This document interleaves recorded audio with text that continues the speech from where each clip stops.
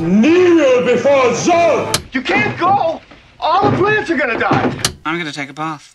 Bad dates. I'll alert the media. Boys, keep off the moors. It's evil! Don't touch it! The name's Pliskin. No war hangers!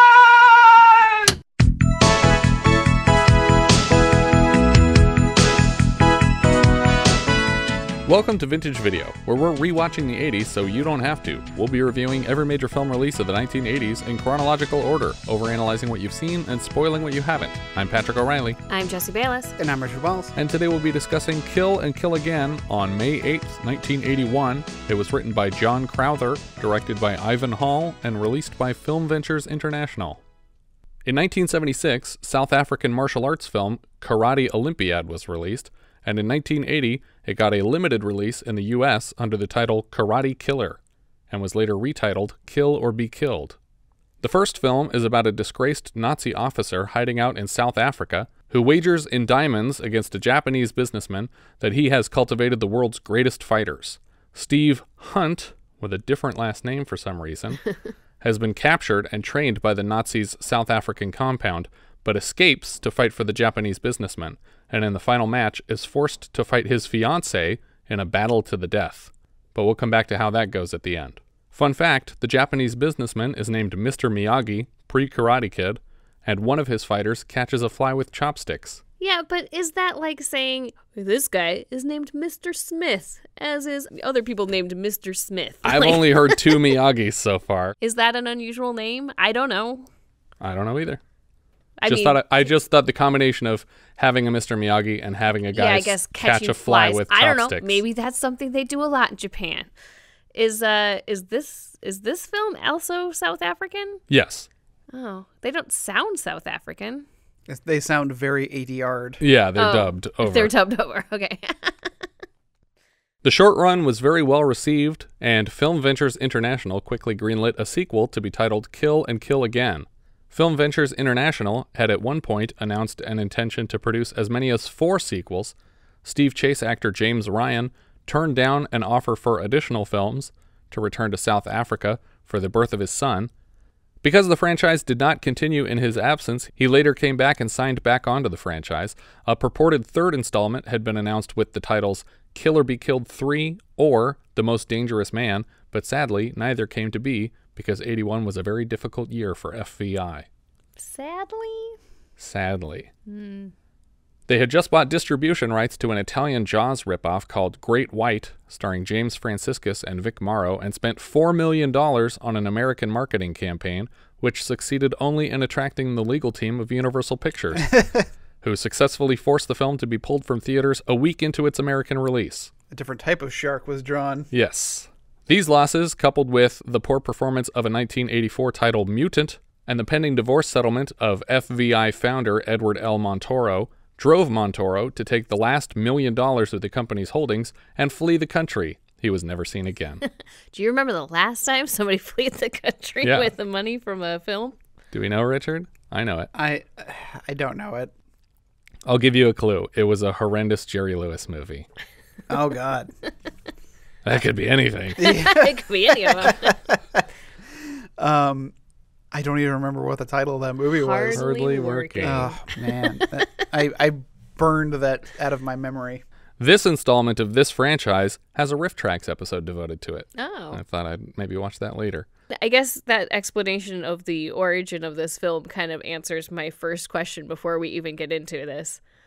I couldn't tell if this movie was a joke or not. Like for a large portion of the movie, I think towards the end I was like, "Oh no, that was that was in earnest." Um, but I, I, think was some like, of it's oh, real it's- and some of it's a joke. I don't know. I thought it was like I think sometimes they try to be funny, but like at first I thought it was like a parody movie. But Oh, okay. I don't think it's a parody. No, I don't movie. think it's a parody movie. But I, I think it is done tongue in cheek a lot of the time. Okay. We start with Maurice Binder style optical effects, shimmering opening credits over silhouetted martial arts. Uh, interesting credit at the start Ken Gampu as Gorilla. I was like, wait, as a gorilla or as as someone named Gorilla? Um, but the, uh, the the opening titles for the first film are very similar to this. They're being projected on a body doing karate. Yeah. And it's it looks like obviously they were trying to get people to like or who who's I don't know if this is our main character doing the actual moves. but Yeah. they're like, okay, do a move that will conveniently put one of your body parts dead center on the screen and then hold it very still for a while. so that we can put a name right there. I thought for a moment these silhouettes were getting very graphic until I realized that it was a karate belt that was hanging between the legs of the silhouetted fighter. I, I was absolutely going to say that exact thing. I was like, maybe you could unloosen that gi Yeah. just a little bit. Yeah. Um, I think that's one of the reasons traditionally these credits are usually done in this style with women. And in swimsuits and stuff like Yeah. that, so there's not dangling parts to confuse the eye. Picture opens at the Sun City International Martial Arts Confederation. They're awarding martial arts trophies. We cut to a man in a tuxedo shouting karate sounds loudly in a dark lounge area and taking on all comers. Everyone who comes out gets launched in another direction. Eventually, the man does a backflip over a partition down onto a casino floor below. He beats up another man and then yanks the arm of the slot machine, scoring a jackpot for the young blonde woman playing. The man continues fighting people outside the casino and up onto the balcony, and the woman he scored the jackpot for continues following him. who are all these people who are attacking him? We'll get to that. We come back to the man handing out the trophies for the Confederation as he wraps up a speech introducing this year's winner, Steve Chase. Just as the judge gets to Mr. Chase's name, the Tuxedo Man and his fight arrive at the award ceremony, and it turns out Mr. Tuxedo is Steve Chase himself. Even after winning, he continues fighting people, overturning buffets, knocking innocent bystanders into a pool. Yeah, I was like, dude, what? They look pretty ready to be pushed in. yeah.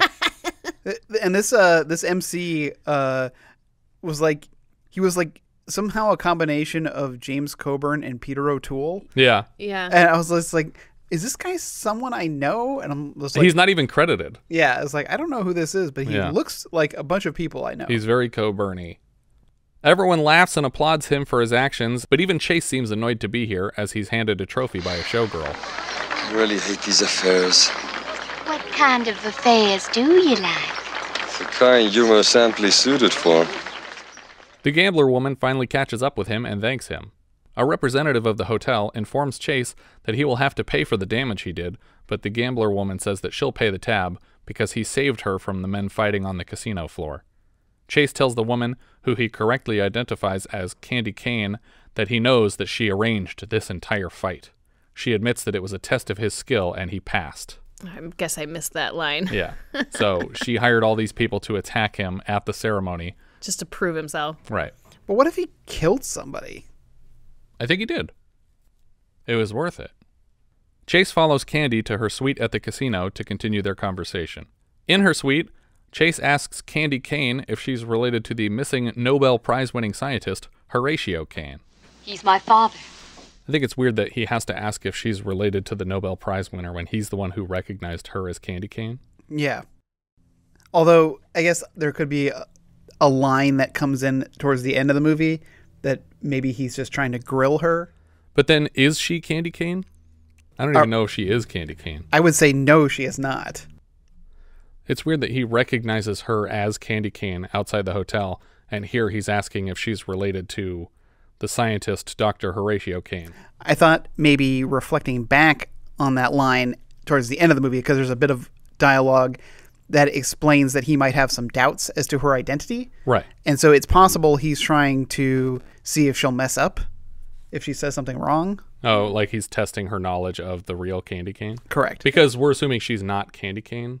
Right, but like he the reason he knows her is because he looked at like the hotel register. Right. So Oh, okay. so he knows that that name is associated with this person. He doesn't necessarily know what she looks like. Why does he know it's associated with this person? Did he see her sign it in the I don't, register? I don't know that he just made he just looked it up, but I maybe he knew what room she was in. I don't know. Yeah, because it seems like it's like okay, if you know who Kandy Kane is, Yeah, I then the only way you could identify her is you if you had any like visual information, and she doesn't look like Yeah, the I don't. woman think, we see at the end I of the film. I don't think he recognized her. I think he investigated her and and and surmised that this is Kandy yeah, Kane. he's playing into her her trick.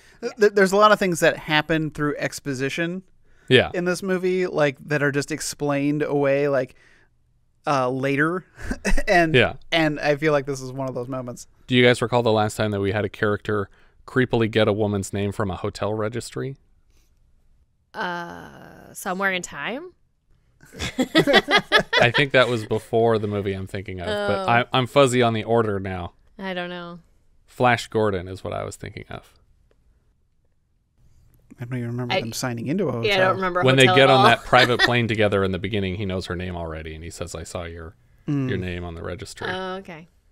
While they talk, Chase is searching the room for bugs. He drags a finger across a piano and recognizes a single key that doesn't sound right. He lifts it out of the piano and removes the small electronic device from underneath it. We cut to the man listening on a reel to reel in a dark room somewhere. Chase holds the mic right next to the piano and smashes the keys with his fist to assault the eardrums of the eavesdropper. But wouldn't the Original striking striking of the keys, especially striking the key that the microphone is right above, even though it's not playing the note, it's still just thumping against the. Yeah.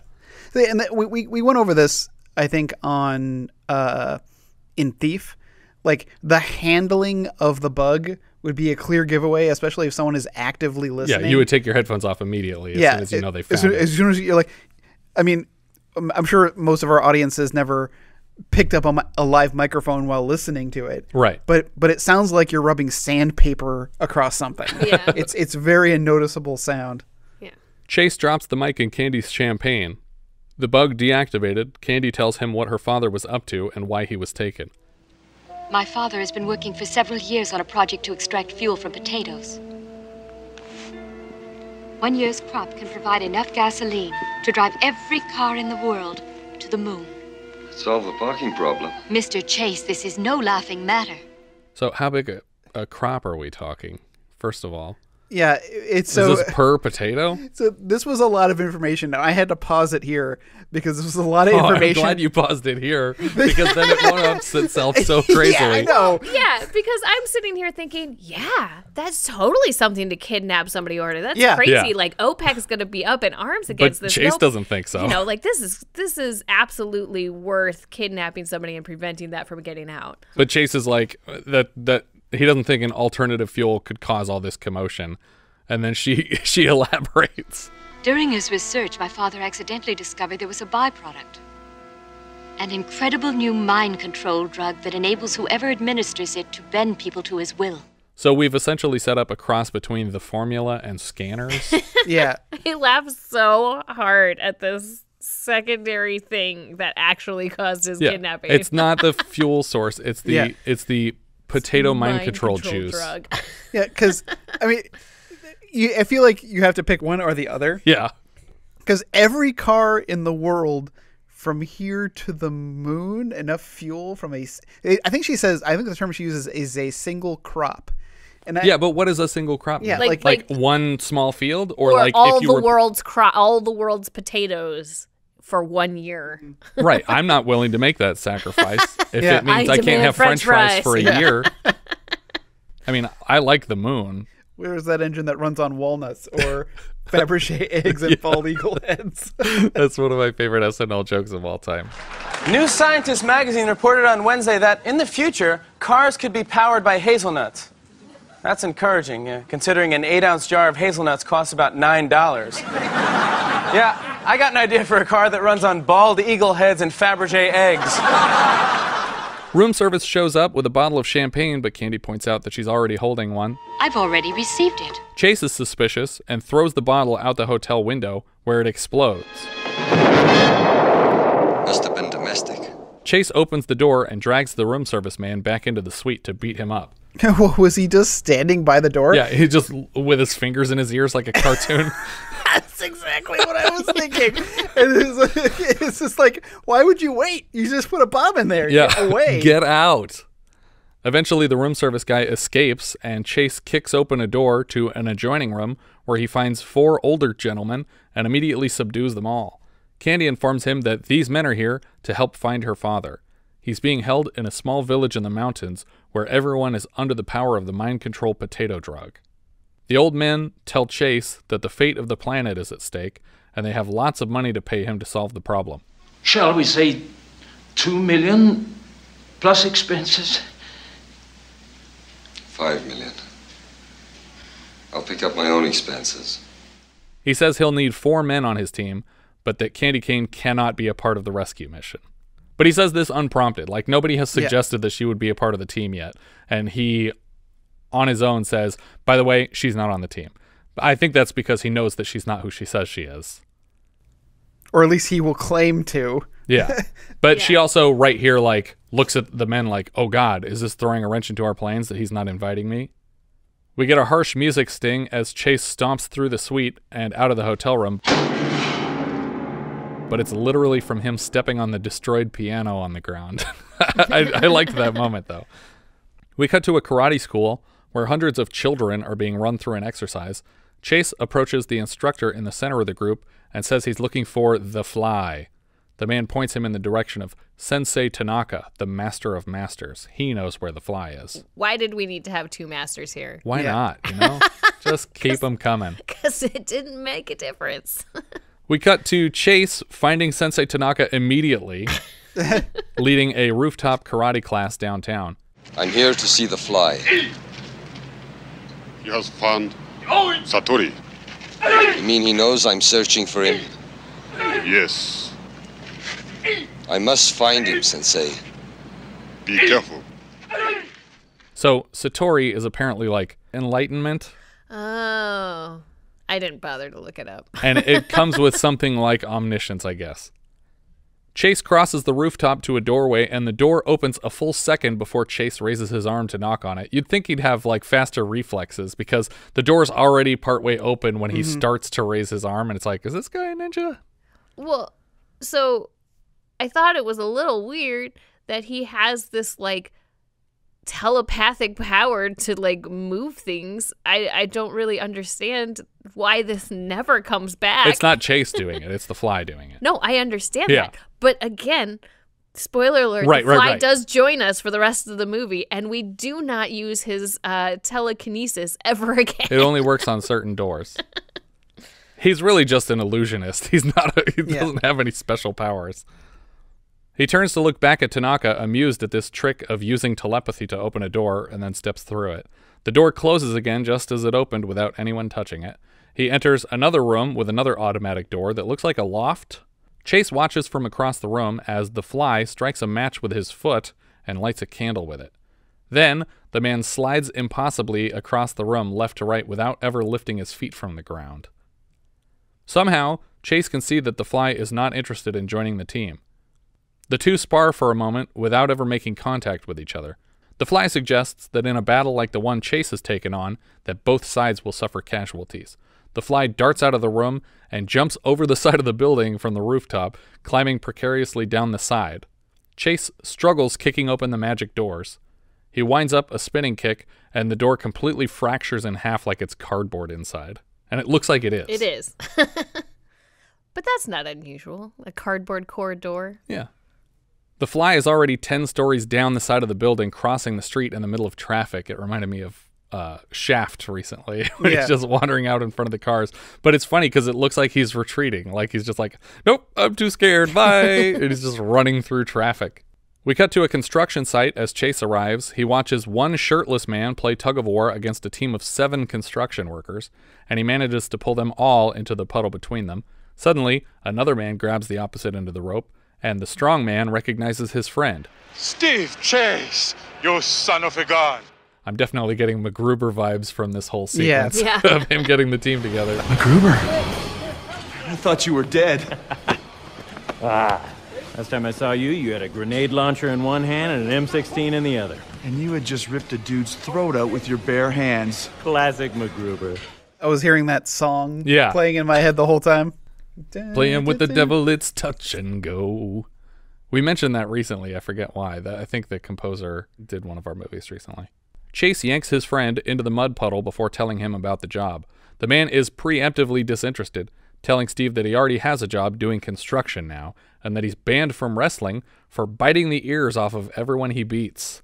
Apparently, this is Gorilla from the opening credits, and he actually seems happy with his work here. And besides, it has got, uh, what do you call it? Security? Yeah, that's the word. Yeah, but I never thought I'd hear you say it. I didn't. You did. I actually like that joke. The foreman walks over to give Gorilla shit for wasting the time of his entire crew, and Gorilla realizes he doesn't want this job after all. The two argue over whether he's fired or quit until Gorilla throws the foreman in the same mud puddle and then gives Chase a big hug to soil his outfit with mud. I was like, well, why would you? Why would you quit? If you get fired, you can, you can collect unemployment. Yeah, Bro, to this fund a- this mission. This is a theme of the '80s. I don't know if maybe unemployment didn't have this uh, this uh, rule back in the '80s. Yeah. We cut to Chase wandering a junkyard looking for someone named Gypsy Billy, and he pays an old man a few bucks for information on where to find him. Yeah, this is wasted money. because I was laughing so hard. I was like, when when I see him hand the money over, I was like, was that just two dollars folded over to make it look like it was more than two dollars? Yeah. Nope, it's no, just it's just two bucks. And first of all, walk through the place once to see if maybe you can spot the guy before you pay someone money to find him. Past that truck. First alley on the left. Chase finds a trailer with the words Gypsy, ex champion of the world, spray painted across the side. it's like, yeah, that could have taken a couple a couple bucks off of your budget. He finds Jip passed out on a bed in a school bus. It should be noted that they call him Jip. That is not our choice. Right. Is that an offensive term? For... Yes. Oh, okay. I did not know that. Also, Gorilla is not super friendly either for Yeah. the big black character on the team. Also, the fly. I mean, Yeah. So uh, we didn't mention it before, but he was he's technically a mosquito. No, he's a human. He finds Jip passed out on a bed in the school bus, and when Jip pretends to be retired, Steve yanks him by an arm and throws him out of the vehicle to join the team. Chase drags him through the trailer park and past the man who owns the place out front. Jip demands his security deposit back before they leave, and he gives him the same $2 he took from Chase a minute ago, having deducted $3 from Jip's $5 security deposit for damage. I actually think that's fair because they destroy a lot of stuff on their way out of this Yeah. little junkyard area. It's worth at least three bucks, but it's funny that he had a $5 security like deposit. that time that the landlady kept hundreds of dollars of mine because I didn't wash the sheets. You want the sheets? When Jip gets physical asking for the rest of his money, the man whistles for his trailer park backup, and a bunch of hillbillies race across the park. Jip uses the opportunity like a warm up and quickly beats up all four or five attackers. Jip realizes that he actually is ready for battle and accepts Chase's invitation. Chase and his team are given a slideshow of Ironville, the town where Dr. Kane is being held captive. These are satellite photos from a satellite that Kandy's old men bought from NASA. Who are these guys again? They're just people with money. Yeah, they can buy they can buy satellites from NASA, uh, wh- which is like fine, but you specifically bought satellites from NASA that can also photograph Right. like really close. Uh, here they mention specifically that the potato fuel can give you 1,000 miles per gallon fuel efficiency. That's not enough to get to the moon. Sorry, guys. Well, she did she did say the whole crop would have enough. The men ask Chase if he's heard of Wellington Forsyth III. The billionaire who dropped out of sight years ago. Supposedly lost on an archaeological expedition. He calls himself Marduk now, after the Babylonian god. He's managed to attract an impressive number of followers, and, uh, oh, thanks to Kandy's father and his discovery, he now holds the entire city under his control. Including Dr. Kane himself. Kandy's worried that the government will try to stage a rescue and screw it up getting her father killed. This is weird, but we'll come back to that at the end. Chase asks how they've gotten so many close up photos of Marduk, and one of the men explains that Marduk has a weakness for attractive women and they've implanted one in his camp as a photographer. Why does he allow anybody to be taking photographs in this camp at no all? idea. And and why does he not just immediately mind control anyone that he wants that's new? Yeah, why isn't she being injected constantly with the mind control? Yeah, serum? I mean, I think that we do get a, a sense of that later that he has an elite squad that he doesn't Right. do mind control with, and and, and the I- people who he should be controlling the most, he chooses not to control at all. Yeah. But I would have like an interview process in which I inject them with the mind control drug and then say, Are you here on behalf of the government? "Yeah, do you work for anyone else?" That's a good idea, Richard. You could be a good evil genius. That's right. You're going to be our Marduk. well, and and so and also I I was immediately I'm I'm sus of everyone in this group uh, including his own men. Yeah. Once you introduce the the concept that people can be under mental manipulation, and you don't establish the rules or the boundaries yet, Then the of- mole could be anybody. exactly it Yeah. could be absolutely anybody. The old men offer the use of their private jet to get as close as possible to Ironville, and the team will have to hike from there. Gorilla thinks the job sounds more complicated than advertised and suggests they try to find Hot Dog to add him to the team. so they go to get Hot Dog. The rich guy asks Chase to reconsider leaving Kandy out of the operation, and he tells them to fuck off. and again, Kandy's like, uh oh, I should be on the team. We cut to the camp where the attractive female spy takes pictures for the rich dudes. In the center of a sand pit, one of Marduk's most powerful fighters takes on four men alone. At the end of the fight, Marduk, with his ridiculous fake beard, congratulates the man for proving himself once again. 100% real beard, Yeah. not a fake beard. I thought he was just one of those guys that has a really weird looking beard. No, You think it's fake? it's definitely fake. but if you think about it, it'd still be a pretty cool party.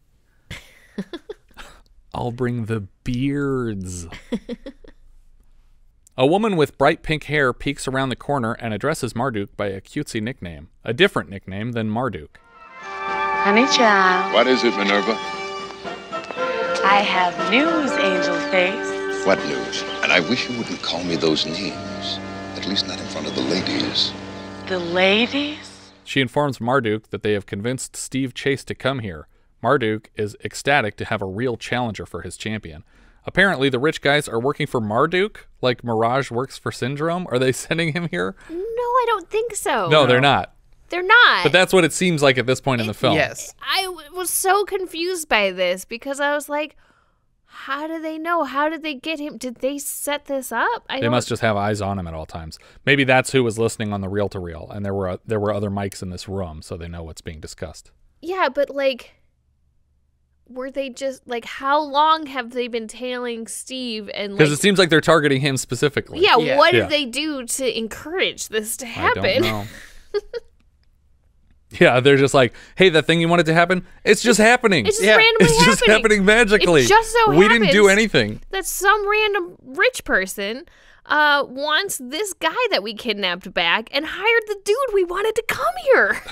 That's crazy.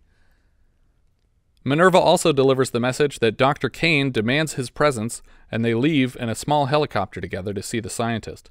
Minerva follows Marduk into the building where the scientist is being held. Apparently, Dr. Kane summoned him here because he just learned from the news that he doesn't work here of his own free will and he was kidnapped. He's like, hold on, CNN says uh, that you guys kidnapped me and that I'm being held prisoner here, and I don't appreciate it.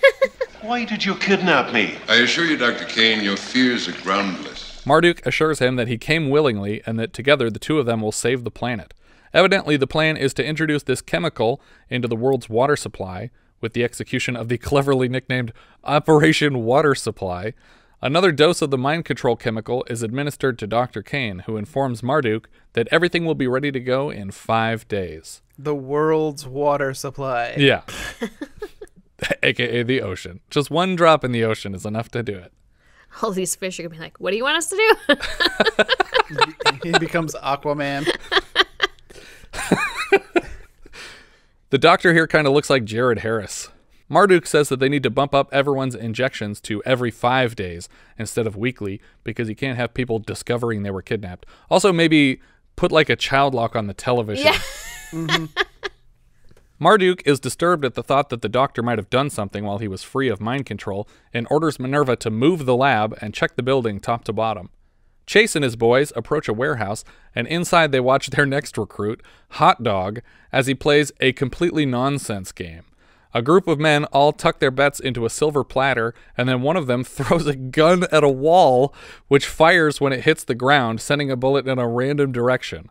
I'm reminded of the game that my brother and I patented in our college years called Ketchup Roulette, where where in a ketchup packet from a fast food restaurant is twisted once across the middle and then handed back and forth between two competitors until such a time as the packet would erupt. this is the greatest ever. the fun part of ketchup roulette is that it doesn't matter who makes the final twist because everyone is always a target. Hot Dog's friends reload the gun between turns and throw it into the air again. It fires and explodes one of their drinks on the table. Hot Dog snatches a cigarette butt from a friend's mouth and dips it in one of the glasses of liquor on the table, filter first, and then he inhales through the filter and it starts smoking again, and then he hands it back to his friend. He does this multiple times in the Yeah. film, and I have no idea what he's doing. And then, like, I can't always tell: is he going back to the the, I don't know, the butt end of it, or is I think he is. Because I thought he like ate over, like, put his mouth over the uh The ash? the ash end. I don't know. But that seems really gross. I thought way, I thought he have no idea why. I thought he was sucking on the liquor end of Yeah, that's what I The thought. cigarette. Okay, well maybe he was, but again, why? I don't I don't get it. I don't understand what's happening here and it happens again later. It's the only reason I wrote it down here is because it happened again a second time.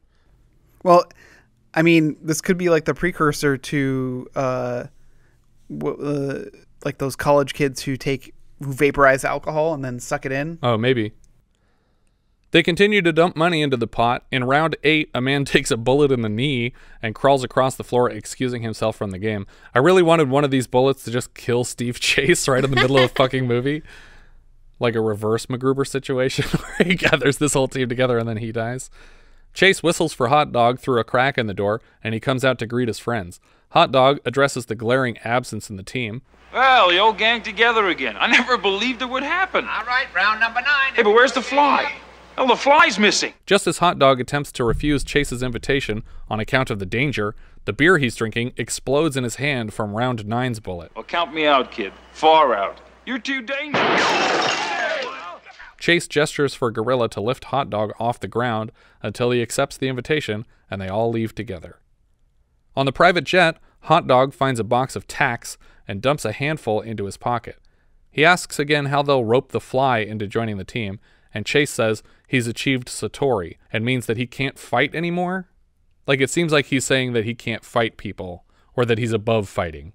Gorilla tries to use the restroom on the plane and finds it occupied by the pilot. he bangs on the door over and over and eventually bashes it in while the pilot is trying to take a dump. The flight attendant the flight attendant is furious to see that he's destroyed the bathroom on the plane. Please excuse him, ma'am. He's never flown in an airplane before. Oh, I thought maybe he'd never been let out of the zoo before. Well, actually, we uh, bribed his keeper.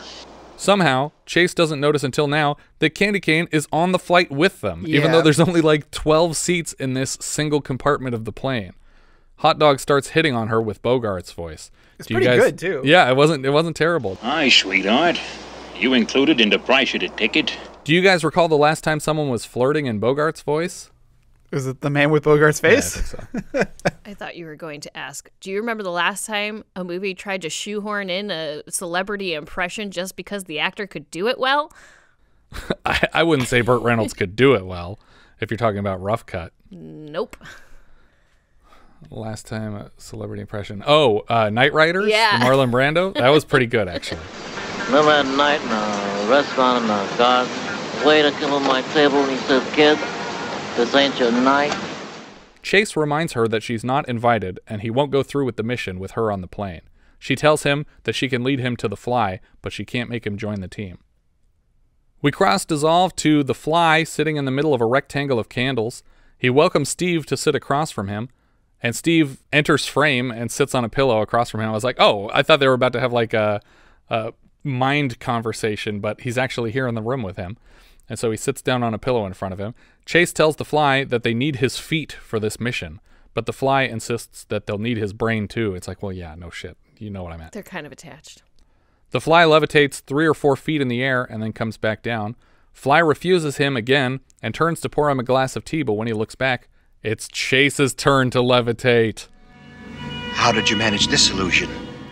Apparently, this is enough to sell the fly, and we cut to all five of them riding in a car through a field. Okay, so does that mean that Chase has also reached Centauri or whatever this is? Suntory. For relaxing times. Make it Satori time. what is it called? It's called Satori. Satori. Yeah. But does that, does that mean Chase is also there, or was Or he it was a faking trick. Or Yeah. Okay, If you if you watch it on the Blu-ray, you could see how he's doing it because there's just a platform that lifts up that he's sitting on. So, but also like you guys have this skill that again you never use Right. after this moment. It only works a couple feet off the ground. It's not like it would get them the whole way to the moon. I was going to make a an astronomy joke and say, said that he reached agape. Ah, he's just just pronouncing grape wrong. I thought it was talking about like the the sugar syrup. No, that's agave. the team pulls over to take a break on the shore of a river. The fly asks why they brought a woman. Question Why is the soft lady traveling with warriors? To sew holes in socks. Kandy insists she can hold her own, but Chase says that he's going to teach her some moves after she cooks them all breakfast because he's a stand up guy. We cut back to Marduk's camp where he tells Minerva all about martial arts, even though presumably she already knows this. The entire population of the town where he set up shop is practicing karate around him. In the film's trailer, this army is referred to as Marduk's karate clones, but they're all just regular people. Yeah, but okay, so they all do look like regular people. There's a mix of, you know, men and women, all sorts of races. Everybody's in here. Yeah, he's really progressive. They're all like between, you know, like probably between, you know, 20 and 40 years old. Right, yeah. So there's no children or old people in this town that he took over? Okay, here's a parallel I want you to consider WandaVision. There's a crazy person who's mind controlling an entire town to be his army. Where were the kids? So he's telling the kids to hide out on the edge of town because he can't use them for his purposes here. So he's mind controlling them to be out of the way? yeah. Okay. But they're they're out on the edge of town by a clothesline with a tear just dripping down their face. That's what's going on with the kids. It is weird though that there's maybe 200 people in karate gear in this movie and not a single Asian person in the entire cast. That's true. There, uh, our main cast is mostly all middle-aged white men. Yeah. I mean, that's South Africa for you. Chase talks Kandy through the basic principles of martial arts the gracefulness, the speed, and the potency. He throws a punch in her face and stops his fist an inch from her nose, but she doesn't react to this, which should have been a clue for him, I think. He begins chapter two on the element of surprise when she grabs his arm and flips him over her shoulder into the grass. The rest of the team bust up laughing as she wanders over to them and then kicks them all off their bench together because they're they're all wrapped around each other. So when she kicks one off, they domino the whole way down. Uh, I liked how Steve is describing like martial arts and what it means, but it's cross-cutting to Marduk also kind of talking about the same things. But I didn't understand why he's doing that because he's telling it to Minerva, who's not a fighter. Yeah, I think it was just establishing that they have similar ideals. I oh, guess. maybe yeah, to show the parallels of the the villain and the hero. Minerva informs Marduk that Operation Intercept is underway, which means that Steve Chase is here and they can prepare his champion for a fight. Minerva calls him by another nickname, Pumpkin Pie, and he reminds her that he doesn't like her using pet names in front of the other girls. Minerva is absolutely my favorite character. in She's this wonderful. film. She's a lot of fun. She reminds me a lot of Brenda Vaccaro's character in Supergirl. She could have been played by Cyndi Lauper. Oh, totally. If this movie had any money at all to work with. You must learn to stop calling me these names, Minerva. Oh, you're absolutely right, Chuckles. A parrot in the room finds this nickname particularly amusing. Chuckles, chuckles, ah, chuckles, chuckles, ah. Chase and his team roll up and park outside Wildwood Saloon and Bar. Inside, it's all American flags and banjo music, and I'm wondering where the hell this town is that Marduk took over. I, I'm assuming that this is in the United States. yeah, it would have to be in the United States. There's like there's a Confederate flag on the back wall of the place. Uh, th- this whole setup too, like, uh, uh, is very reminiscent to the plot of uh, Far Cry Five. Oh, okay. uh, in which this cult has taken over a town and is using drugs to keep the population under control. Oh, okay. They had mind control potatoes too? Uh, no, they used really creepy like flowers that are the whole creepy. The whole theme of the game is like there's these moths because these flower this particular flower is pollinated by moths instead of like bees. Huh. There's always like moths flying around. So does it happen at night then, the pollination? I don't know. That's a good question. Aren't moths nocturnal? I don't know. Inside, they ask a grumpy bartender if he knows where to find Ironville. Hot Dog does his weird cigar trick again for no apparent reason. Okay, I looked it up. So apparently, uh, cigar smokers will dip their cigar ends into a liquor to moisten them so that it- the tobacco isn't dried out. Okay. But you don't need to do that, according to the internet, if you stored them properly. Idiots. I mean, hot dog just assumes that people A guy don't named store their Hot stuff. Dog isn't storing his cigars properly. Well, I'm but he shocked. but but they're never his cigars. He Oh, takes that's true. He takes them from other people. Yeah, he just he just has a very low opinion You, of you other know people. what I thought it was? Hmm. I thought it was he was sanitizing them in the Yeah, but alcohol. then it gives a bag. yeah, well, but Well, then you dip it. yeah, it's, your up, it's up to them. If you want my germs, you t- you take it. You dip, I dip, we dip. Put your hand on my cigar.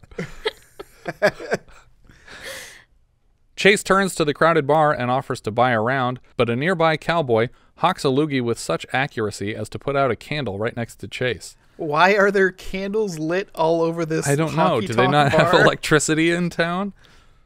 Everyone who used to run the plant is now doing karate on the hills. Chase extends his hand for Hot Dog to drop his nunchucks into. Chase rolls right into a weapons exhibition and swings the nunchucks fast enough to put out three more candles. The cowboy is so impressed that he offers to buy a drink. He approaches and then dumps the drink over the fly's head. When the cowboy approaches with a second drink, Chase kicks the glass out of his hand and it explodes. Do you remember the last time we had a glass explode in somebody's hand? No. Ninth configuration, I think. I mean, uh, Stacy Keach is squeezing the guy's fist around it until the glass finally shatters in his hand. Oh, well, that. That doesn't count. Okay, then earlier in this movie, when a beer bottle exploded in Hot Dog's hand. Does that count? No. Okay. The bartender reaches over the counter to put an arm around Chase, and the fly swings his foot around, wildly kicking the regulars in the face. A full scale fight breaks out, like in the bar from Firecracker earlier this season, and Chase's full team completely destroys the regulars. These don't seem like fully trained fighters, but they are. They're a part of Marduk's army. We just Mhm. don't know that yet. Uh, I kept trying to watch what Gorilla was doing because I was like, is Gorilla ripping throats? Because he keeps grabbing people by the throat and then throwing them to the ground. Yeah. And I was like, I can't tell if he's just straight up strangling people to death or with one hand, which is amazing. Or amazing. if he's going for the turkey. Yeah. gobble, gobble, gobble. Oh, God. Kandy Kane is even pulling her own weight. Hot Dog doesn't seem trained in any martial art, so he's mostly pretending, and when people realize that he's pretending, they smash bottles over his head. Eventually, the team step over the bodies of the regulars on their way out of the demolished bar. The bartender manages to choke out directions to Ironville as they leave. I don't know why he did that. I guess they wanted him to, yeah. So he does. Ironville, friends, isn't signposted. Just take the road into the mountains and you'll hit it. At the end of these instructions, the entire bar falls off the wall behind him and clocks him in the back of the head. In the camp, one of Marduk's guards catches an unauthorized man separate from his group. The man is not carrying a Class A permit, which is required for anyone sent on a special errand. The guard goes easy on him until Marduk interrupts. I'll let you go this time. No, you won't. Marduk informs the man that he will be disciplined accordingly, and obviously the guard will need to be punished as well. A second guard cracks him over the head with a blackjack, and he's informed that if this happens again, he will lose his elite status, and presumably his alive status. I don't know how much of this he's hearing, though, because he seems unconscious. Right, but isn't Marduk also like letting him off? Letting the guard off the hook here? well, no, is- he punished him. He's letting him continue to be a guard. Yeah, what I'm saying is he's uh he's letting him keep his elite status now. So he's Right. basically doing the same things like, "Oh, I'll go easy on you this time." It's Right. like you're doing the same thing, man. It's okay when he does it. Minerva pulls up in a Jeep and tells Marduk that Chase and the boys and the girl have passed the saloon portion of their quiz. He tells Minerva to put everyone on high alert. Operation Water Supply begins in three days. Sure thing, Dimples. He he seems really upset too that the bar full of guys didn't succeed. Yeah. He's like, mm, like I, I thought I had him with that one. Yeah, I thought for sure that my weakest ninjas would be able to stop him. But he wants this guy here. Right. He Yeah. wants him to he doesn't want him killed. We cut back to the team, and Kandy is washing her hair in the river. Chase compliments her performance in the fight. She apologizes to Chase for being able to fight and keeping it a secret, but it's obviously his own fault for assuming that she couldn't. It's not exactly the kind of question a guy asks a girl. He confesses that he actually finds her more attractive now, knowing that she's a trained fighter. They kiss, and the rest of the team start mocking them. They park their car on the side of a main road into the mountains and ask a passing vehicle for directions to Ironville. How about you stay on the road to the mountain like the last guy told you?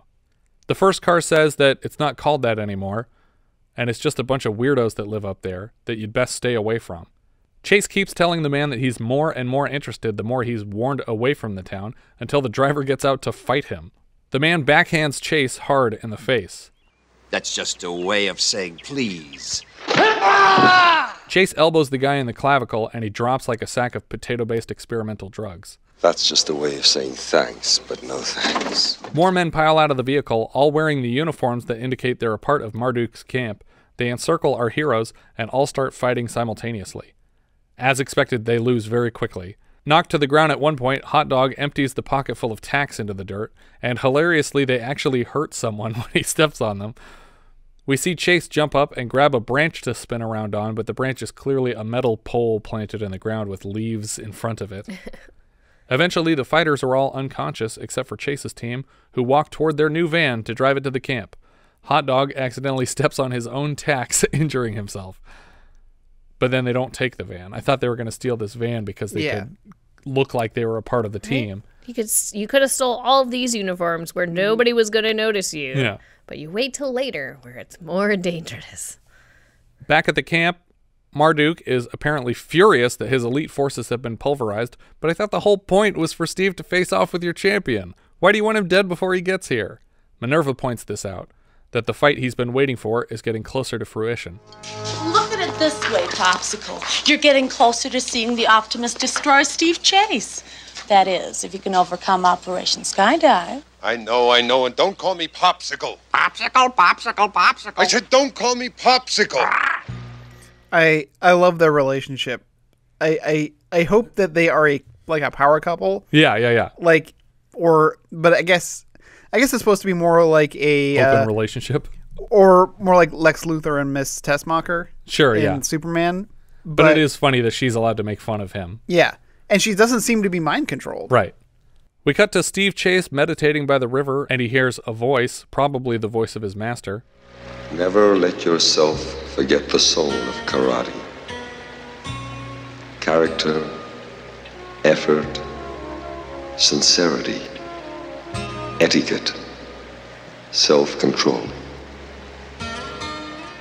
Maintain concentration at all times, looking deep into your own being.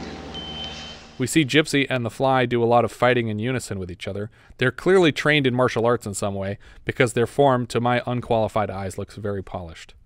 We cut to an airplane dumping a bunch of men over the field where Chase and his team are playing cards. Presumably, this is Operation Skydive. What a terrible approach to a battle. Mhm. You have zero element of surprise, and the enemy has to watch you slowly descend from the sky for 20 minutes. I know. I don't understand why in these in every movie you're like, "Oh, there's people coming to attack us. Let's wait till they're ready. They've totally landed. Mm-hmm. They've gotten their parachutes off. They've all assembled together in one central location. Now we'll fight Yeah. you." I guess that's the honorable way to do it. And they got none of them brought guns because all these people would be dead before they hit the ground. Mow them down. Well, and, and the first guy that they fight is exceptionally honorable because he and Steve like like kind of like bow and then they brace their arms against each other like like this is Yeah. going to be a fight. Again, they find themselves surrounded by men in identical uniforms. Some are even armed this time with sais, but it doesn't help their chances. The team continues to play cards while the Fly and Chase face off with the fighters. I was say it's not the size that count. Has that been used as a tagline on any of the Ninja Turtle posters, like Oh, character man. posters? That'd be pretty Like, risque. Size don't matter. Mm. That's kind Size. Of that's kind of mean to uh, insert turtle name here who uses a sai. You don't know? I don't believe. I honestly don't believe you. You know who uses a sai. I can identify colors. and I can identify All right. weapons. She's and officially in the first grade. She can identify colors. I, I don't associate them with different weapons or colors. I what, don't know. what about Michelangelo? What does Michelangelo use? Is he the red one? No. No. You thought you knew colors. No, I I I know that I Oh, know. you know what red looks like I when do. you see it. You don't know which Ninja Turtle is that color. No, they're they're. I just know that they're red, purple. I'm kind of Yellow excited and for where this is orange? going. Yellow and oh, orange. Shit. I don't fucking know. Oh Apparently, Oh I don't know God. colors. what colors are they? You left out blue, the leader of the team. Michelangelo? The leader of the team. Michelangelo's a You know the party dude. song at least, right? Donatello. You're, Raphael. You're fucking with I us. tried. You literally said all the wrong answers. I forget which one's left. Michelangelo? No, I said that one already. I'll give you a clue. He writes backwards. da Vinci? Yeah, that's right. Hot Dog hucks nunchucks over his shoulder to Chase. Chase disarms the dude using the sais with his nunchucks, which is why Michelangelo would always beat Raphael. While these fight scenes seem technically accurate, they're never especially interesting. It's usually just the same few moves over and over again, but they're it's real karate moves. So if you care about karate, you'd probably find these fight scenes really interesting. I don't because I don't know karate, and so they just look like kind of lame fights. Well, and a lot of times I feel like they needed to trim like three or four frames off each edit because they'll cut to two guys about to fight and they're standing there for half a second too long Yeah, before they start. ready, yeah. before they start throwing punches. They're like, no, no, you needed to, you needed to trim a few frames so they're Yeah. just they're already in the fight when you come back. Every shot starts with a guy going shun because they didn't even bother to cut that. It's kind of like um, in uh, in Excalibur, where we just let the camera roll for a little too Yeah. long on these a little too accurate Yeah. fights of people in armor. At the end of every shot, all twelve actors are looking into the camera. Did we get it? Are we, should we no, keep going, keep, going. keep going. you just hear Borbin in every shot. Chase is almost done with the entire squad of fighters, and Gorilla and Hot Dog are still playing cards on the hood of the car. When one of the baddies is tossed over the hood, he knocks some of their cards to the floor, interrupting the game, and Gorilla is furious. Minerva tells Marduk that the fight with the skydivers is underway.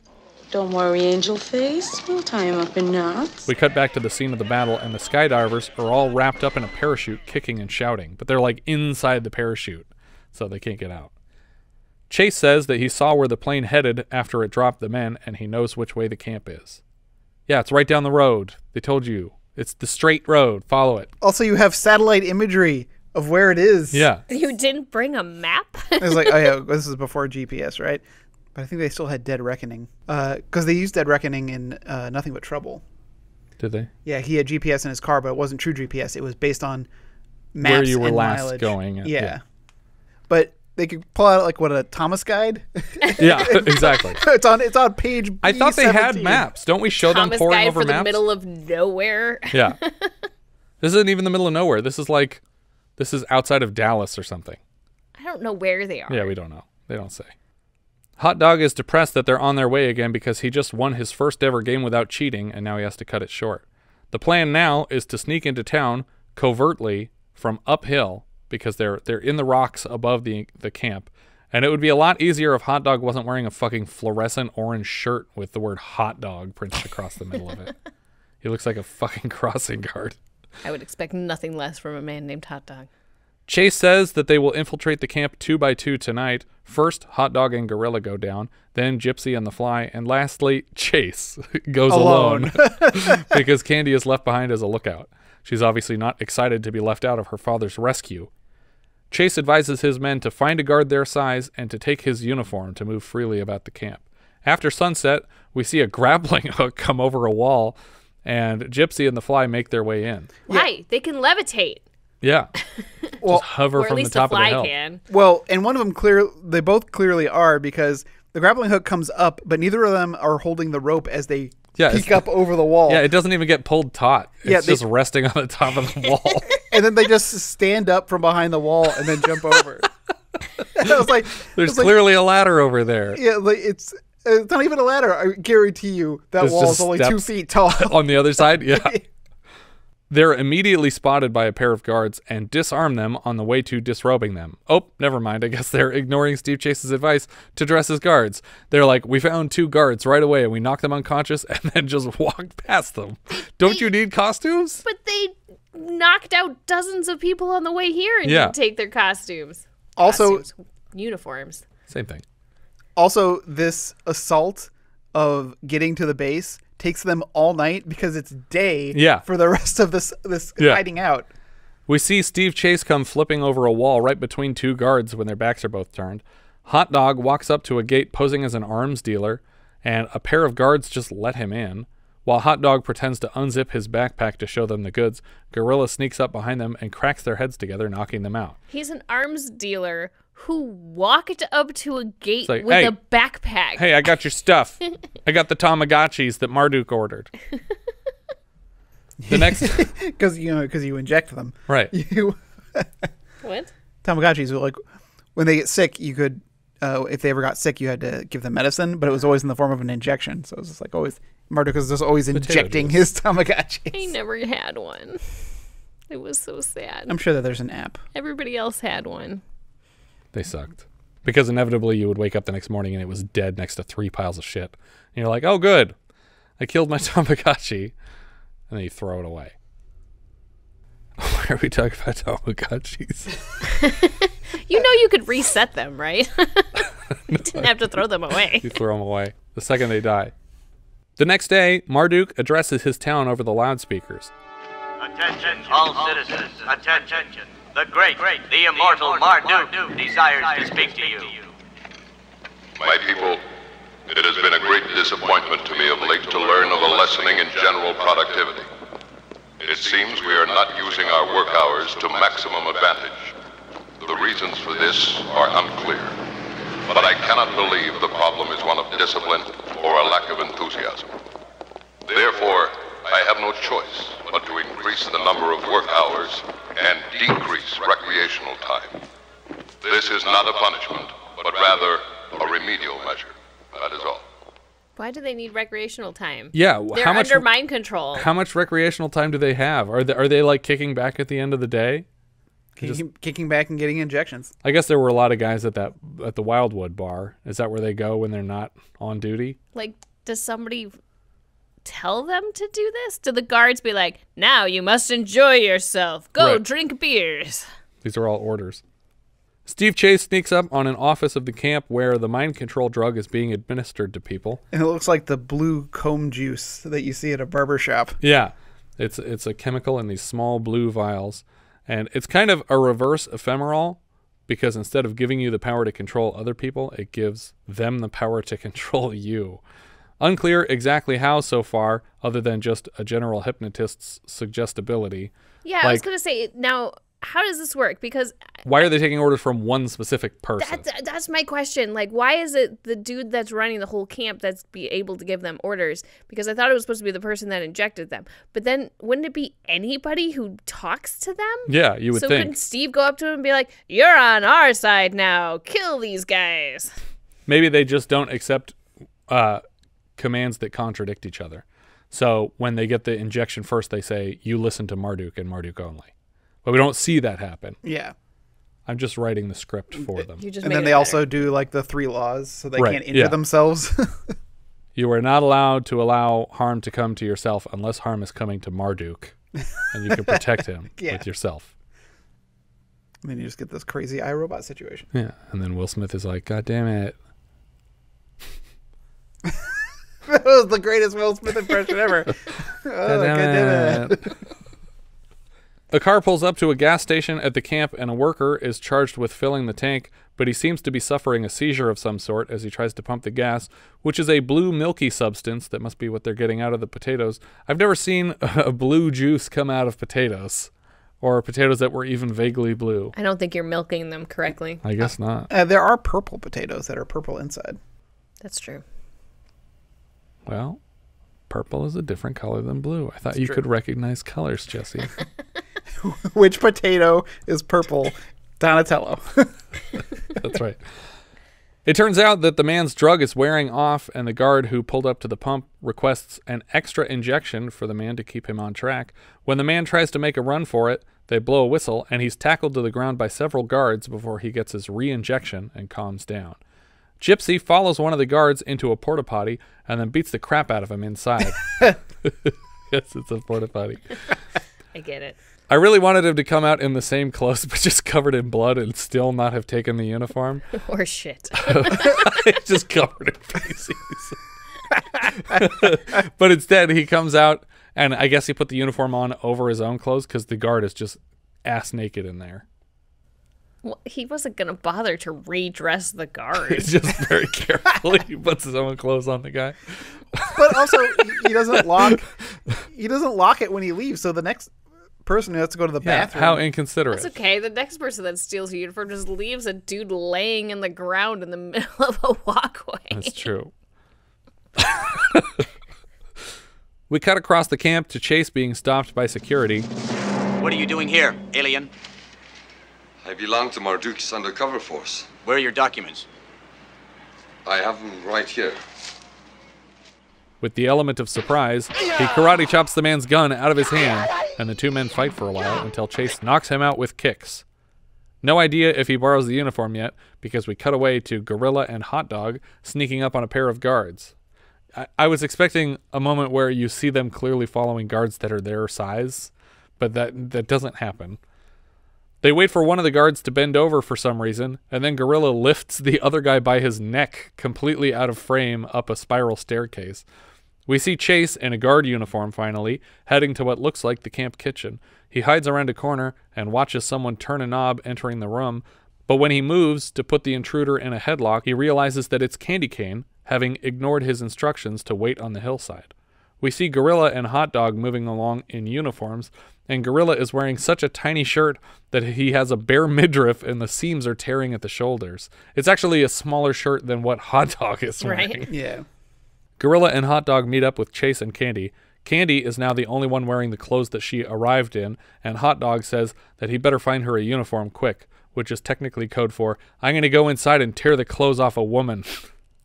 Hot Dog peeks around the corner with a fucking boomerang and throws it to take out a guard. Okay, Kandy. Here you go. Here's some clothes for you. And he just dumps like a dead guy in her lap. What's the matter? They too big for you. I'll get you another one. No, no, no. It's just just perfect. Thank you. Hot Dog is so funny. This line had me cracking up.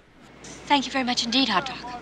Kandy, Chase, and Hot Dog walk along in uniform when a man behind them shouts for documents, but when they turn around, they see it's Gypsy and the Fly, also in uniform, making a joke. Amazingly, all the men seem completely invisible in these uniforms. When they're spotted by another guard, he's only confused because they have a woman with them. They claim to have caught her, and the new guard tries to interrogate her. What are you doing here, citizen? Obeying the wishes of the great and wise Marduk. The citizen acts strange. I think I should take you to see Dr. Kane for special examination. Rubbish! The guard moves around this group, inspecting everyone's faces very closely. They sure are letting this guy stay conscious for a long time. When Kandy repeats that the doctor has been moved, the guard tells them exactly where Dr. Kane is being held, but then turns around to admit that he recognizes Chase as an alien, meaning that he's not a part of this settlement. I'm taking you there immediately. There's something wrong. You're right, alien. Something is wrong. I, I like that he says Marduk doesn't pay you to think. I was like, does Marduk pay you? Yeah. Wait, Like- you guys are getting paid? The guard grabs his gun and claims that he's going to bring all five of them in by himself when he is finally struck by a chop from Gypsy and a kick from Chase and collapses. On the way to the doctor, Gorilla joins their formation. The whole group head upstairs to the building where they're holding the doctor. They're stopped on the stairs to the second floor and led back down to the captain, and they find the man that they just knocked out. He orders six injections for the group. But before Chase can be injected, a hand blocks the path of the needle, and we see that Marduk has spared this group their injections. These aliens are not to be injected. I have far greater plans for Mr. Chase. Upon learning they've been granted immunity by Marduk, the whole team just starts beating the shit out of every other security guard in the room. More guards are summoned, and for some reason this brings an end to the fight instead of just more fuel. Marduk marches Steve Chase through a field of his fighters' training. He tells Chase that they are his elite warriors, but they all look pretty pudgy to me. Yeah. If they're elite, I'm elite. These are to be the upper class. Those individuals superior in every way physically, intellectually, spiritually, and emotionally. Freedom of choice eliminated. We cut from that demonstration to what looks like a brewery. Marduk tells Chase that the new oral serum is being produced and ready for shipment all over the world. Marduk tells Chase that he will soon have the entire world at his command. Well, so again, this makes me question how the serum works. Like, did we like implant Marduk specific elements into this thing? Yeah. Because otherwise, if everybody's just randomly drinking it, aren't they just gonna listen to the first person they talk to forever? Yeah. It's like he's just dropping a massive rohypnol in the ocean. It's he just roofied the planet, but there you need to give instructions to each person, or else that's not useful. yeah. We see barrels labeled New York and Moscow, indicating cities where the chemical will end up. He tells Chase about the Optimus, his champion fighter who he requires to be the best fighter in the world. Steve Chase asks what would happen if he refused to fight, and Marduk says that he would be put to death. He introduces Chase to Dr. Kane. Here, Marduk is referring to this town as New Babylonia. Chase can tell that Dr. Kane is drugged, but Kane is instructed to tell Chase that he's happy, and he does. I am very happy. Minerva drags the photographer spy into the room and informs Marduk that she caught her taking pictures of the serum vats. Marduk revokes the photographer's elite status and orders her immediate interrogation. Well, this is also another one of those expositional like r- r- uh, redactions Yeah. of like I always suspected that it was her. It's just like Yeah. always. Then again, why you why'd you let her in the room with all the chemicals? Yeah, exactly. Marduk closes them in here with the doctor so they can interrogate the photographer, but when they're alone together, Dr. Kane drops the act and starts speaking normally. You're not drugged? No. In my case, the drug wears off in two days. Marduk has no idea. But there's a guard in the room with them. Yeah. also, if so, you're still out of commission two out of every five days. Yeah. So if he asked you a question like, "Hey, are you? Have you been under my power this whole time?" He would have been like, "No, I was, I was, I had free will for three days." Mm-hmm. Depends which day he's asked. I guess. Chase tells the doctor that he's been paid by his daughter Kandy to rescue him. That only presents one problem, Mr. Chase. What's that? My daughter is here, already one of Marduk's victims. I was very excited. It was Yeah. like, is it Minerva? It better be Minerva. oh, I was hoping it was like one of the people that they killed for a costume. It's the parrot. What the hell? So, as we've basically suspected from the beginning, Kandy is not the daughter of Dr. Kane. The good news is that the doctor has developed an antidote to the formula and is ready to hand it off to Chase for mass production. Evidently, Operation Water Supply is already underway, and Chase now has 24 hours to dose the water supply with the antidote before it will be too late. And he hands the antidote to Steve Chase. We never see it again for the rest of the movie. We never come back to putting this in the water supply to save everybody. So hopefully that happened. We cut to a large arena. Marduk is applauded as he enters, and he steps to a microphone to address the citizens of New Babylonia. There is a section of this uh like they pan across the audience which is all people in like the the t-shirt guard uniform Yeah. except there's like one section of this place that's like they aren't wearing shirts at all like it's all these dudes Mhm. like in the section that aren't wearing shirts and i'm like are those The crew. like did they run out of t-shirts and they're like well we still need to fill the stands well let's just let's just have these this section be naked like i Yeah.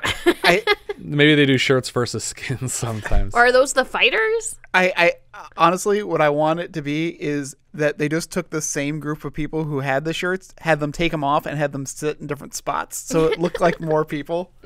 That makes sense. Citizens of New Babylonia. Today, here we will witness that the Optimus is indeed the best. The best in the entire world. And what if Steve Chase wins, Dumpling? He will not win. We cut to the team in a jail cell, and even Gorilla can't break through the bars. Steve is led to the cell with everyone else and informs them that they will be forced to fight like gladiators. He also tells Kandy that he met her father and that he's okay. At the end of his speech, though, Chase indicates that Miss Kandy Kane might not be who she claims, and the guard comes to retrieve everyone but Chase. Chase's friends are placed in the ring one at a time to fight one on one with Marduk's champions. Gorilla fights with a man who I'm pretty sure we saw earlier in the parachute group. After Gorilla destroys the guy, he smashes him to the ground and pounds his chest. The next fight is Gypsy versus the guy who was driving the truck full of fighters, who promises that this time Gypsy won't be so lucky. The fight ends with Gypsy kicking the man unconscious. I don't think this is how Marduk intended this to go. Because Marduk is sexist, he forces a woman to fight Kandy Kane, and it's the shortest fight so far. Kandy lays the other girl out very quick. Why wasn't this Minerva? Like, I mean, I guess she's above fighting, but Yeah. it should have at least been someone who we've seen before, or better yet, the real daughter of the Oh, that would have been something. I, I feel like Minerva is is the is a different kind of hench. Like she she can pilot, you know, she can she can capably handle like errands and giving orders. Yeah. But uh, fighting is not something that she does. I also don't think the pink hair is something they did for the movie. I think she has the pink hair regularly. That the actress does. We cut to Hot Dog in the ring with a fighter. This should be interesting because Hot Dog doesn't seem to have any martial arts training. He takes a lot of punches and kicks to the face, ribs, and neck, and all he does in return is throw straight punches. Eventually, he takes out his competitor with a series of punches and elbows. Next, the Fly faces off with another of Marduk's fighters. A lot of this fight seems to just be in fast forward. That's the closest thing we get to a callback to any of the cool stuff we saw the Fly do earlier. But maybe they're just that good. Maybe maybe I'm imagining the fast forwarding. When the Fly takes out his opponent, Chase's team has performed flawlessly. And not only that, it didn't look difficult for any of them. None of them Yeah. came close to losing their fight.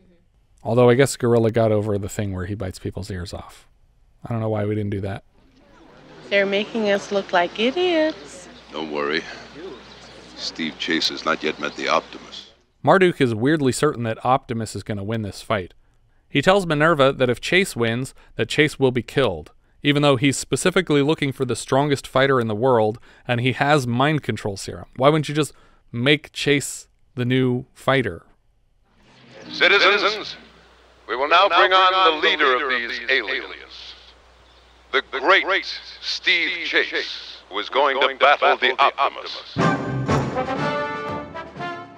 Man, Marduk sure seems certain that the Optimus is going to win this one. They should call Marduk the Optimist. Uh-huh. The Optimus is about a foot or so taller than Chase and surprisingly resilient, but there's not really a clear winner right away. Chase starts doing jumping flips over Optimus's head and punching him from above, and then he tears down the Optimus with a high spinning kick to the neck that seems to knock the man out. Chase's friends congratulate him on his victory that didn't even seem to test his abilities. Marduk is obviously furious. You'll not deprive me of my victory, Mr. Chase. I shall have the last laugh yet. Chase announces that he is the Optimus, Master of Masters. Marduk informs Chase that he can't be granted the title of Optimus until he beats every one of his brainwashed foot soldiers, which is kind of fucked up because these are just normal people acting under the effects of a drug that was involuntarily administered to them. And he has to kill the entire town to become Optimus. And did the Optimus do that? Yeah. Chase is invited to try the first glass of a new liquid serum before the fight. If he doesn't drink it, Marduk will order the deaths of his entire team. But who here is going to kill them? They just beat the six strongest people. Chase chugs the glass anyway, and Marduk orders him to kill his friends. The teams circle around Chase for a moment, and all punch him in the neck simultaneously. He collapses to the ground, and then they lift him up and toss him out of the arena into Marduk's lap. Chase puts Marduk in a headlock and orders him to free all of his people. He puts the microphone close so they can hear the order. You are free. I, I am no longer your master. From today on, New Babylonia no longer exists. From today on. New Babylonia no longer exists. I am your enemy. No. I am your enemy. I am your enemy. You must destroy me. You must destroy me. Why would you agree to say this if you're going to die either way? Wouldn't you rather just have Chase snap your neck? Minerva tries to help Marduk escape, but the soldiers have gone crazy and chase him down. Chase's team escape the arena and board the gates behind him. So they barricade the innocent people who are under mind control drugs with the people with guns who are not under. So he's just basically doing what Marduk did. Yeah. He's just turning his those people into his own private army. Right, yeah. And at the expense of their lives. Marduk and Minerva make a run for their helicopter. Gorilla grabs onto the prop before they can take off. Minerva can't get the craft airborne and makes a run for it, crashing into Kandy around a corner. Back at the helicopter, for some reason, some of the guards are still under Marduk's control. Like, I feel like everyone who's not under mind control drugs would have given up immediately when the when the Mhm. rest of the group was released. But they're still following his instructions and try to shoot at Gorilla so that he'll let go of the helicopter, but at the last second he ducks out of the way and they shoot the helicopter which explodes in a massive ball of fire. The evil captain guy corners Dr. Kane demanding the formula. Formula, Dr. Kane, or your life. Formula shall die with me. It's your choice. We get this awesome slow zoom shot of the captain raising a pistol toward the doctor. He cocks the gun and pulls the trigger, and we see super slow mo footage of the bullet firing. And then we follow the bullet twisting through the air when suddenly Steve busts in with what looks like It's a it's like a laboratory clamp stand. It's the thing, you know, that you would hook your Bunsen burner, you know, holders on and stuff. and the bottom plate is like thick Yeah, enough metal that it would block a yeah, because it's a big heavy steel plate And so it's that weighted to your hold to the chemicals aren't going to fall over Yeah. and, and stuff. Well, he's holding that up as he jumps through the air, and the bullet clangs off of it. At first, I thought it was supposed to be hitting his fingers too, because the bullet is really close to his fingers on the thing. But in the same jump, he's tackling the captain to the floor, so he deflected the bullet and knocked the guy down. Chase lands on the floor where a foot and hand are extended to him, and he grabs both so the fly and Gypsy can lift him to his feet. The doctor thanks the team for saving him and assures them that he destroyed the formula. Quote unquote Kandy Kane apologizes for lying about who she was. So you found out I'm a government agent. I suspected it all along. Who else could afford to pay me that much money for my services? She announces she's officially quitting working for the government, and he promises to keep her from changing her mind. Hot Dog shows up with his spoils from the battle Marduk's parrot. Look at here. Got myself a lovebird. He's crazy about me. Got room for one more? Popsicle kaput. Ah, ah, popsicle kaput. Chase asks if anybody else wants to drive for a change, and Gorilla volunteers. The car veers wildly down the road, and we hear it crash just out of frame, killing the whole team. Credits roll. Fuck the brass. Fuck the brass. O'Doyle rules. O'Doyle rules. So, okay, so can we go back to the Kandy Kane government thing? Like, why is she quitting the government? Because she loves Steve Chase. Yeah. But why does he want her to quit the government? Because she loves Steve Chase. I don't understand. Yeah. oh, uh, I think we. I don't. I think we kind of glossed over it too. Um, Steve Chase tries to give an ultimatum that if uh, they fail, that the government will bomb the facility. Yeah. Oh, right, and, right. and Marduk says, "No, they don't. They want this. They want this uh, mind control drug as much as I, I have Oh, it." So she, so she wasn't trying to stop Marduk as much as she was trying to get the formula for Right. the government. Right. Okay, that makes sense. But I do think it's weird that at the beginning she even specifically says, I, I want to get in there fast because I don't want the government to come in and do it. And it's like, but you are the government. Insanely, the climactic battle of the first film takes place in the exact same arena. And when Steve is forced to fight his fiance, as when he's forced to fight his friends at the end of this film, he instructs her to throw him out of the ring at the man forcing them to fight. So it's the exact same as this scene in the first movie. Right, but like he also has the opportunity. Like he's face to face with Marduk. Like before this even. Yeah, he could have killed him a bunch of times. Yeah, I don't, I don't understand why he was waiting. In the first film, he also ends the final fight with the enemy the exact same way by jumping over the big bad guy's head a bunch of times and punching down, and then a devastating neck kick. So they just basically remade the first movie as the second movie and then added some story Yeah. elements. I guess he needed Marduk to. I, he didn't unmind control these people. No. He just he just he just mind controlled them differently. Yeah. Right. But after five days without injections, they'll be back. But there's also a whole vial of antidote in his pocket. So. Yeah. and he has now less than 24 hours to get it delivered to a water supply. He was in jail. He was in a jail cell overnight. So if he puts that in just the water supply, He just throws now, it in any glass of water counts as a we're water good supply. to go. And then n- no government can ever use this thing again because the water supply is already like vaccinated against it. Yeah. Right. Okay. Unless, you know, people start working on a tomato-based fuel. But the energy Old crisis. water. Yeah. I don't drink water anymore. That's controlled by Steve. Wait, Yeah. what? Yeah, I like this movie. I think it was fun. I liked the team. Uh, I wish that there were more differences between them. it was stupid. Uh, I agree it was stupid, and I agree that I like it. Yeah. um, it- it's I, I I think I wanted it to go more extreme one way or the other.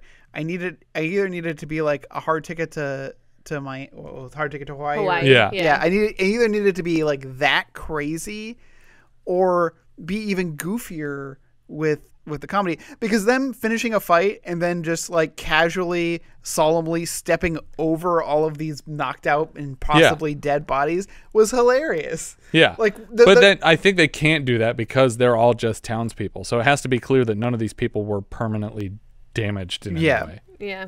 I mean, I, like I said at the beginning, I wasn't sure when I started watching this film if it was supposed to be a parody or not. So I agree with you. I think it was amusing and it could have been more amusing. Yes. But it wasn't good. It was good um, compared to most kung fu movies. I think that there was more comedy in this, which I always like from my movies. Um, and the hot dog character kind of saves it for me. I just really like the fact that they brought along this guy with no training and no expertise. Like they like uh, I think when the, when they're first recruiting him, Gorilla says something like his his bag of tricks, like let's get hot dog in his bag of tricks to make it sound like he's a MacGyver type. And literally the only thing he does is like, Throw oh, tacks." for no reason they have tacks on this airplane. I'll take those and I'll throw them out on a battlefield when we're fighting later. and somehow they're long enough to go through shoes And they're not even like they're not like tacks that you would use to pin something to a corkboard. They look like like brass tacks that you would use to like hold a script together that just they would fold over harmlessly if you stepped on them. But he doesn't do anything else that's inventive or prop based. Yeah. Well, he pretends to be an arms dealer with a backpack. That's true. I wanted him to throw one more gun and to just let it start firing somewhere in a room. Um but yeah, I, I, I enjoyed the film. I think if there were a couple nude scenes and some real gratuitous blood, that this could have been this would be a movie that people would talk about more often. I'd never heard about this before I found it for this list. Yeah. I don't know. I'm not going to give it a thumbs up. It was it's not something I would recommend. I laughed at it, but I'm not going to tell anybody to watch it. I'm not giving it a thumbs up either, but I will say that I enjoyed it. Yeah, um, it's definitely not a thumbs up. Although it's it, it could have been there. It, it could have been something that's so bad it's good, or something that was just. I really really like how goofy this is. Um, it just yeah, like I said, it just didn't get there. Yeah. All it needed for me to give it a thumbs up would have been either some consensual nudity or a really awesome kill. Like an inventive, awesome kill. And it didn't do either of those things. Um, do we know that where this is going Letterboxd? I have it uh higher than I expected. not not that it's too high, but Sixth place. no, no, no, no. I just was thinking, oh yeah, this will be at the bottom, but you know, there's quite a few movies under it. Uh, I have it in 41st out of 59. So do I. Uh, Do you really? Yeah. Okay. Well, mine's below high risk and above back roads. Oh man, I have it way higher than both of you guys. Really? I have it in 29th. Oh. Okay. Um, this puts it below King of the Mountain and above Charlie Chan. Well, you have all those horror films at the bottom of That's your true, list yeah. that are taking up so much room Oh, that yeah, are def- definitely don't belong there. I have it between two horror films, but it is 41st also out of 59. Uh, 41st is just below Graduation Day and just above The Nesting for me. Our director here was Ivan Hall. The only other title I recognized was Karate Killer, aka Kill or Be Killed, the first film. The writer was John Crowther, who also wrote the J. Lee Thompson Charles Bronson film The Evil That Men Do, and he did the story for Missing in Action with Chuck Norris.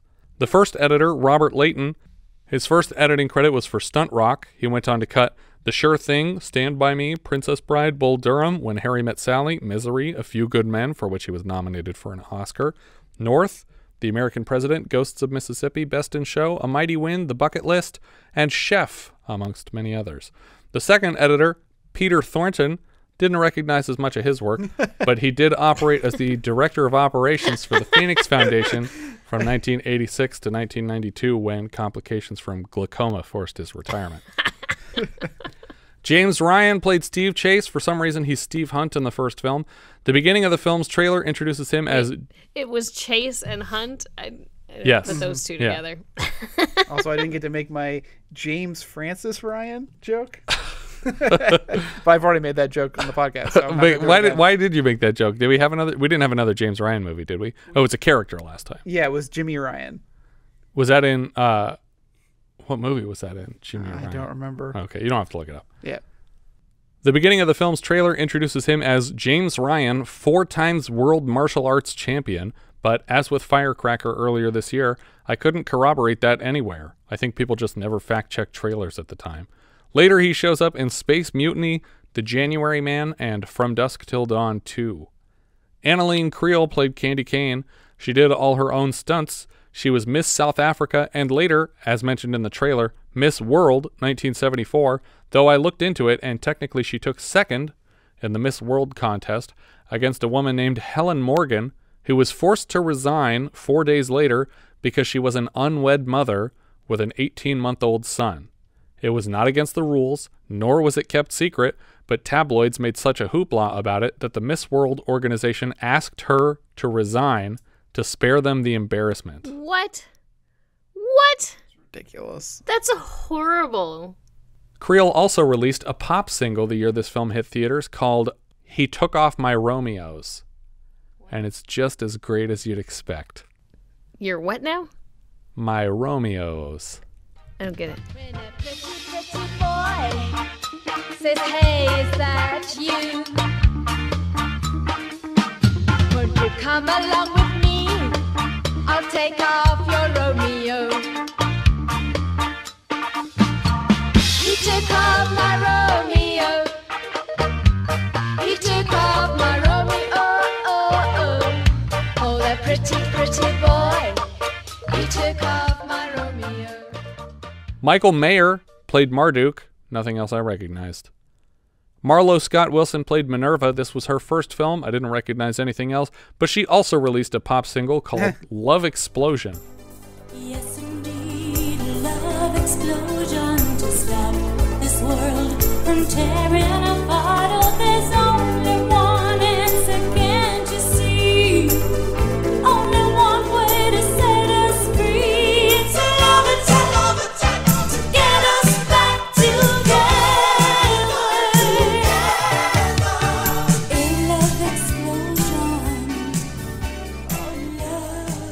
Bill Flynn played Hot Dog. Didn't recognize anything else.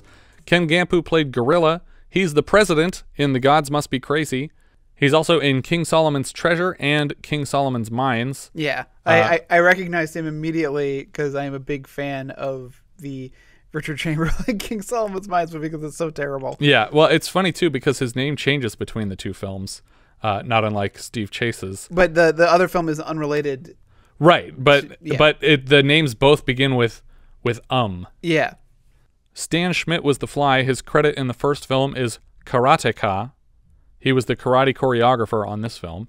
Norman Robinson played Gypsy Billy. He was another karate choreographer on this film, and he was also credited as Karateka in the first film, as was Eddie Dorie, who plays Optimus, Malcolm Dorfman, who plays the truck driver, Derek Geyer, who plays Rowdy, and Gordon Richardson, who played the waiter. Where was there a waiter? In this movie? Yeah, Um, Oh, maybe at the hotel? maybe, yeah. Yeah. Uh, he also, uh, Gordon Richardson, was the parson at the wedding in Tess. Those are all the credits I had. So I think that's everything for Kill and Kill Again. If you guys have any thoughts you'd like to share, we are Vintage Video Pod on Twitter, Facebook, Instagram, and Letterboxd, where, as I've said before, you can find each of our full movie rankings for the year. We can also be found at vintagevideopodcast.com. We also have a Discord now. Join the 24-7 movie chat and share your thoughts on episodes past, present, and future at vintagevideopodcast.com slash discord. And if you're on YouTube, don't forget to subscribe. Thank you so much for listening. I hope you'll join us next time when we'll be discussing Secondhand Hearts, which IMDb describes like so. A high spirited wife and her meekish husband hit the road to take back her kids from her previous marriage who live with her ex in laws. That is a run on sentence. We leave you now with a trailer for Secondhand Hearts. Last and the night before.